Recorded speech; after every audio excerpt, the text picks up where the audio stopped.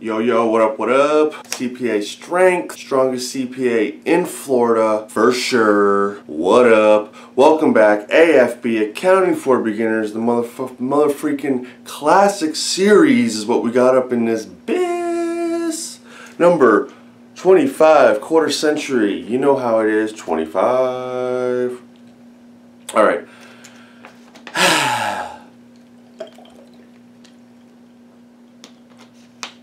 I was like, oh, just press record, bro. Bruh, just press record, okay? Thanks for clicking on the video. If you want to see more accounting videos, me making a fool of myself, etc., etc., etc., hit subscribe. It's down there somewheres. Check out my playlist. I'll put a card on for my Accounting for Beginners playlist. Best accounting playlist on, on the internet as far as I'm concerned. I'm a little biased maybe, but getting jacked, boy. Getting juicy, boy, getting jacked. Okay. All right. If you just watch, if you just watched 24, this is kind of a continuation. Does the transaction increase assets? And I realized I never even defined assets. I want to make a whole video on what an asset is. I'm just going to read from the definition of the book here. It's the resources owned by a business are its assets. Examples of assets include cash, land, buildings, and equipment. Resources, resources of a company. Does this transaction increase assets? Assets are resources we got in our business. Alright, bruh, what's the transaction? Transaction is provided services on account for 6000 First thing you're to do, D. Sadler. I've written it a thousand times. I said it a thousand times. What is it? D. Sadler. Okay, let me just get it off. Let me get it on paper. Let me get it on paper.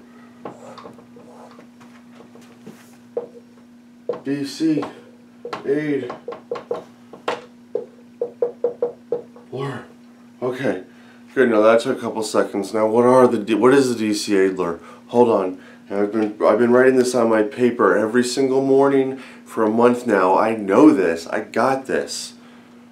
Alright, back in Jump Cut Boy. Yeah, you know you love it. Okay, so, are we having fun yet, man? Let's have some fun. This is easy peasy. It's raining outside today. We're going to have fun in our little AFB classic series, a little warm. Oh, feels so warm in here inside. Oh, warm and fuzzy. So fun. Oh.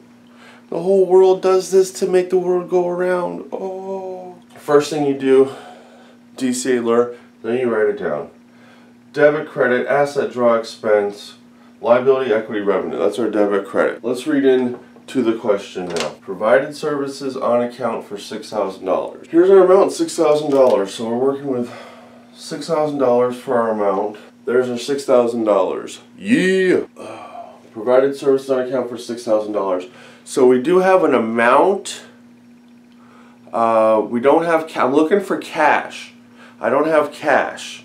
Provided services, this would probably say for $6,000 cash or something, but it doesn't. It says on account. So what the hell, what the heck is on account? What the heck is on account? Well, you know, you, you've been doing this a little bit, you, you, you kind of know. I've heard of an accounts payable before. Hmm, but payables, payable. I am liable, so an account payable is a liability. Well, I'm, I'm just starting off, I'm new in this accounting world, so I'm just going to put um, accounts payable here. There's another account that I've heard about, uh, accounts receivable, yes. That's when I do work for somebody and they say, I'll pay you later because there's an account and I get a receivable. I wish they would have put provided services on accounts receivable, but that's why you kind of got to think a little bit, slow down, just think of what's going on logically. I provided, I, I'll put I provided services, I provided services on account for $20. I provided services. I mowed somebody's lawn for $20. Did they pay me? Did they pay me cash? No, it's on account. Um, so they owe it to me, I guess. Because they didn't give me cash. I need money. Where, where's my money, dog? You're going to owe me later? Oh, oh, okay. you sure? I kind of need that money now. So anyways, we've heard of accounts like you owe me later instead of cash. He's a receivable, he's a receivable. That notorious B.I.G. Ready to die. He's unbelievable. 1996, I was like one of my first CDs that I bought. I think that and Craig Mack Flavor in Your Ear was the two first CDs I bought when I was 18 years old. What are some accounts that I've heard of?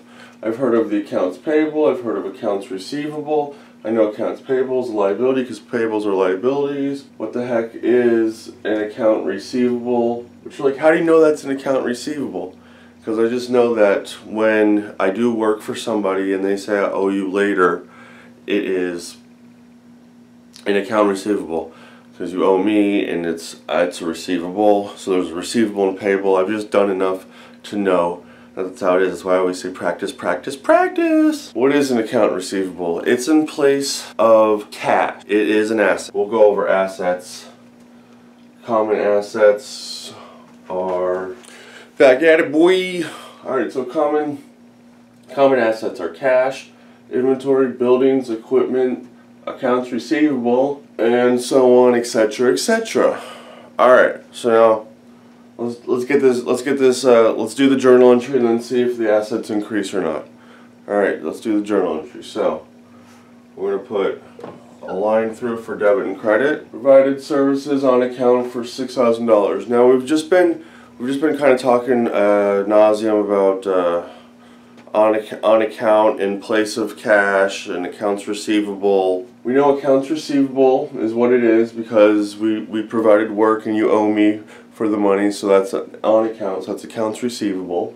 We know accounts receivable is an asset. We know that if it is going up, if an asset is going up, it is on the debit side. So let's go ahead and write down in our debit for this, accounts receivable. Accounts receivable is an asset and it's going up. Get our credit now, boy. What are some common credits? Now it might be, could be a negative, negative one of these, but I don't know, liability, equity, revenue. Okay, so that's like what it might be. Why does somebody owe you $6,000 on accounts receivable? What'd you do? You perform services. So let's just, you know, you perform services, that's your everyday services, that's why you're in business.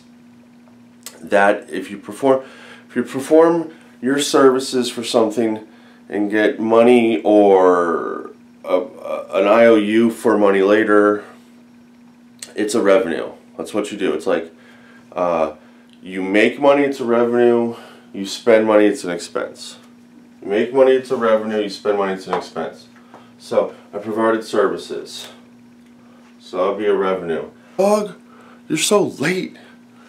Uh, someone owes us six thousand dollars. You provided services. That is a revenue. So service. It's your main the main service you do in your business. Service six thousand dollars. What is service? Service is a revenue. Six thousand dollars service. That's on the credit. What is a service? It is a revenue because you're getting you're getting money for what you're doing. So it's a revenue. It's on a credit and uh, if it's a if it's a credit and revenue it's going up. We have revenue going uh, revenue the credit is going up debit and credit. Let's see if this works. We've got revenue service revenue going up.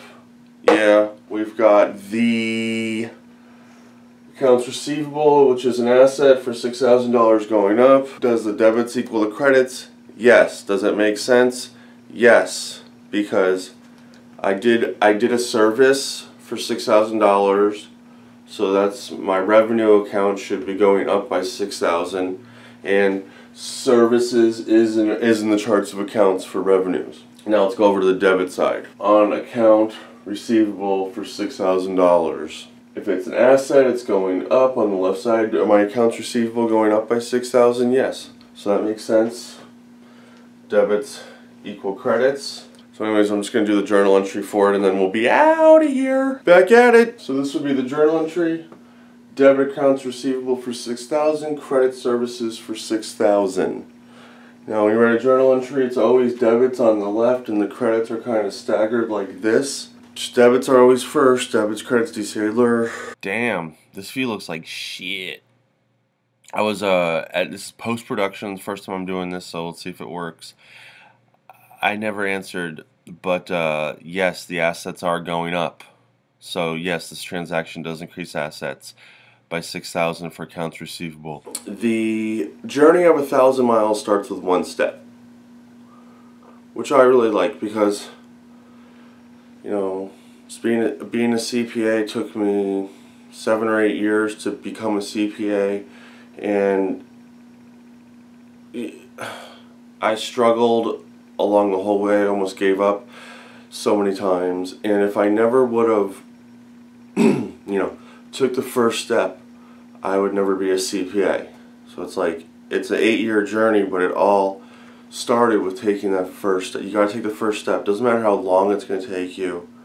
You know, it can be a thousand, thousand miles. You got to take the first step. It's like my first step was walking into the community college here in Broward County, Florida, going to Broward College, and saying, "Hey, I'll be a CPA, bruh." Deuces.